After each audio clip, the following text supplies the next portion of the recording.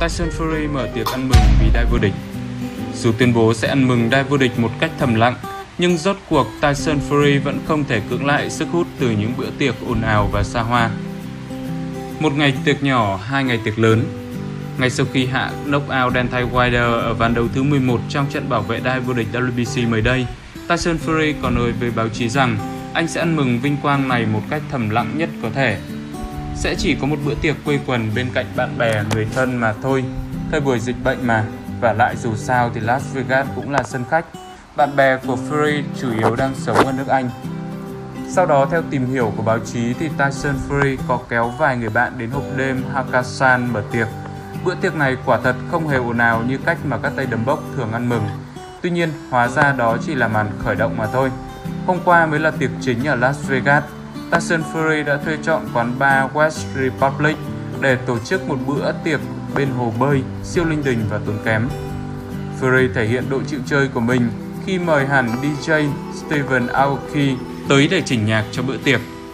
Cho anh em thoải mái khui chai rượu loại đắt nhất nhì trong quán, hút xì gà thoải mái. Nghe đâu riêng tiền rượu đã tốn 18.000 đô la Mỹ của Fury. Ngoài ra để chúc mừng Fury, Bar West Republic cũng đã chuẩn bị một màn tôn vinh khá cầu kỳ. Các nhân viên quán mỗi người mang theo một chữ ký rồi đứng ghép lại thành hình gift king, biệt danh của Tyson Fury. Bữa tiệc của tay đấm người Anh này ồn ào và náo nhiệt tới mức gây xôn xao cả khu vực bên ngoài bar West Republic. Theo báo chí, rất nhiều ô tô đã dừng lại bấm còi để chúc mừng Fury, gây tắc nghẽn giao thông ở đường M25. Bữa tiệc bắt đầu với bản nhạc Wonderwall của Oasis. Kế đó là phần tôn vinh Tyson Fury, dàn nhạc chơi bài We Are The Champion của Queens. Đến tầm 6 giờ chiều, bữa tiệc mới khép lại trong giai điệu của bài Sweet Caroline không ai biết chính xác Fury đã đổ bao nhiêu tiền vào bữa tiệc này, tuy nhiên con số ít nhất cũng phải trên 100.000 đô. Tyson Fury kiếm bộn tiền nhờ chiến thắng. Số tiền này nghe thì có vẻ xa hoa nhưng chẳng thấm tháp gì so với khoản tiền khổng lồ chảy vào tài khoản của Fury sau chiến thắng trước Deontay Wilder. Theo cập nhật từ báo chí, sau khi thống nhất chia thưởng 6-4, Fury có chắc chắn 6 triệu đô sau chiến thắng, nhưng đây chỉ là khoản tiền cứng những khoản mềm mới là điều mà tay đấm bốc này quan tâm. Trận đấu giữa Fury và Wilder còn rất nhiều hợp đồng bổ sung được ký và nhiều điều khoản kinh doanh khác đi kèm. Trong các khoản tiền mà Fury được hưởng, có một khoản đến từ số lượng người xem trên khắp thế giới. Con số này không được tiết lộ rộng rãi. Tóm lại, theo Total Sporter, số tiền Fury bỏ túi sau chiến thắng có thể lên đến 250 triệu đô. Con số này hoàn toàn hợp lý khi biết rằng ở trận đấu diễn ra năm 2020 với Wilder, Fury đã bỏ túi 18 triệu đô. Fury đang trong giai đoạn vàng để tìm kiếm tiền từ các trận đấu. Theo National One, chỉ trong vòng 12 tháng gần nhất, Tyson Fury đã kiếm được 50 triệu đô tiền thưởng từ các lần thượng đài.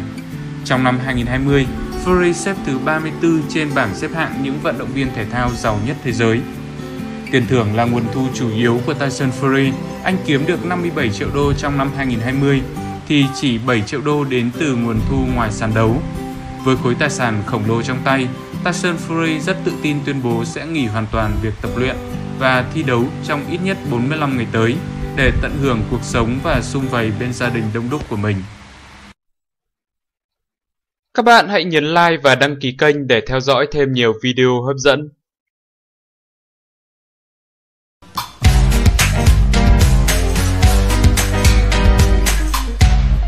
McGregor chỉ ra lý do vua giang hồ Fury hạ gục Wilder. Võ sĩ người Iceland McGregor đã chỉ ra lý do giúp vua giang hồ Tyson Fury có thể lần thứ hai hạ knockout đối thủ Deontay Wilder ở trận tái đấu lần thứ ba vừa qua.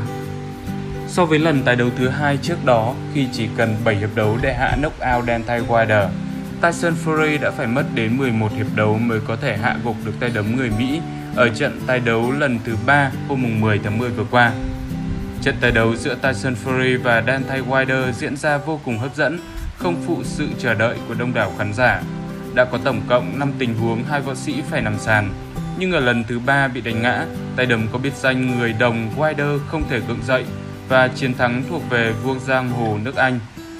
Rất nhiều người đã ngợi khen kỹ năng thi đấu của Fury, tuy nhiên Conor McGregor một ngôi sao ở đấu trường UFC cho rằng sự chênh lệch về cân nặng chính là chìa khóa mở ra thắng lợi cho tay đấm người Anh. Ở buổi cân nặng trước đó, Fury đạt trọng lượng 125 kg, hơn Wilder 107 kg tới 18 kg. Màn so tài tuyệt vời, cả hai xứng đáng là những chiến binh và họ đều là người chiến thắng. Thật khó để không bị ấn tượng bởi Dan Thay. Anh ấy đã ở đó và chống lại người đàn ông cao lớn hơn rất nhiều và gần như đã giành chiến thắng. Võ sĩ người Iceland nhận định trên Twitter. Trận đấu tuyệt vời nhưng chênh lệch tới 18 kg là quá nhiều. Họ đã có những màn so tài thú vị. Tôi tôn trọng các trận đấu này. Xin chúc mừng Tyson và Wilder. McGregor gửi lời chúc mừng tới cả hai võ sĩ đã công hiến một trận đấu tuyệt vời.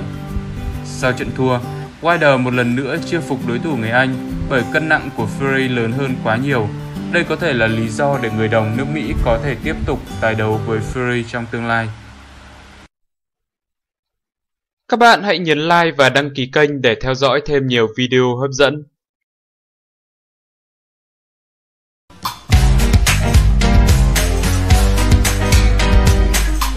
Ronaldo là lý do để tôi đánh bại Deontay Wilder. Võ sĩ người Anh Tyson Fury khẳng định chính Cristiano Ronaldo là nguồn cảm hứng để anh vẫn duy trì phong độ ở tuổi 33 và đánh bại Deontay Wilder và bảo vệ thành công đai vô địch WBC hạng nặng. Ở trận tái đấu lần thứ ba với Deontay Wilder, võ sĩ người Anh Tyson Fury tiếp tục có chiến thắng bằng knockout kỹ thuật trước tay đấm người Mỹ và bảo vệ thành công đai vô địch WBC hạng nặng. Chia sẻ về bí quyết giữ phong độ ở tuổi 33, Tyson Fury khẳng định chính ngôi sao Cristiano Ronaldo là nguồn cảm hứng để anh luôn nỗ lực tập luyện hàng ngày. Sau khi biết tin Ronaldo nhận danh hiệu cầu thủ hay nhất tháng ở ngoại hạng Anh, vua giang hồ Tyson Fury đã tôn vinh cầu thủ bóng đá người Bồ Đào Nha là cầu thủ vĩ đại nhất mọi thời đại. Dưới bài đăng về Ronaldo, Fury, một cổ động viên cuồng nhiệt của Man United viết CR7 là cầu thủ bóng đá xuất sắc nhất lịch sử. Ở trận đấu với Wilder vào sáng ngày 10 tháng 10, Tyson Fury cho thấy lối đánh khôn ngoan, duy trì một thể lực dẻo dai để hạ knockout đối thủ ở hiệp đấu thứ 11. Chiến thắng này tiếp tục giúp Fury bất bại với 31 trận thắng trong sự nghiệp và chỉ hòa một trận trước chính Wilder. Ngay sau khi bị hạ knockout, Dante Wilder đã cùng các đồng đội và gia đình di chuyển tới bệnh viện để xử lý các chấn thương cũng như thực hiện kiểm tra y tế. Theo huấn luyện viên Malik Scott, Wilder gặp một số chấn thương nhỏ. Chúng tôi đã gặp các bác sĩ, mọi thứ khá tốt. Cậu ấy bị dập môi, gãy tay, cụ thể là ngón tay hay khớp nắm đấm, nhưng mọi thứ vẫn ổn. Tyson Fury đánh rất tốt và thực sự ở đẳng cấp vĩ đại. Sau hôm nay, tôi sẽ xếp cậu ta vào hàng ngũ những võ sĩ vĩ đại. Wilder rất hay, Fury còn hay hơn và người giỏi nhất đã chiến thắng. Chúng tôi đã gần như hạ được cậu ta, một trải nghiệm không tưởng Tôi muốn Dan Thay dành thời gian nghỉ ngơi và sẽ đảm bảo việc đó. Cựu huấn luyện viên người Mỹ chia sẻ quan điểm. Các bạn hãy nhấn like và đăng ký kênh để theo dõi thêm nhiều video hấp dẫn.